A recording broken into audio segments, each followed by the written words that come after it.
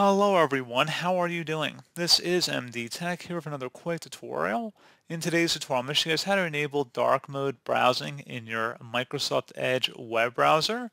So this should hopefully be a pretty straightforward process here guys, and without further ado, let's go ahead and jump straight into it. So we're going to start off by opening up Edge, and then go up to the top address bar, and type in edge colon forward slash forward slash flags exactly how you see it on my screen and hit enter. In the search flags field, type in auto dark mode. And best match should come back with auto dark mode for web content. Click on the drop down here and you want to select enabled and then you will need to restart your browser for the changes to take effect. And if you wanted to turn this off down the road, you can just click inside the drop down here and select default and then you would select restart and that's all you have to do.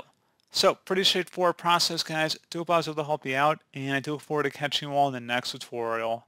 Goodbye.